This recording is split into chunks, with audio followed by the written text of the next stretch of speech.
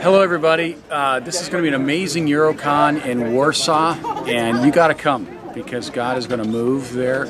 Being in Poland is a special anointing. Uh, amazing churches, amazing leaders like Pastor Maciek holding this uh, holding this camera, and Renata, and we love we love the churches there.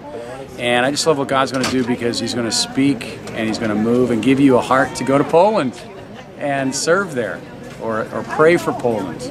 And uh, it's going to be amazing. So come on out. Amen.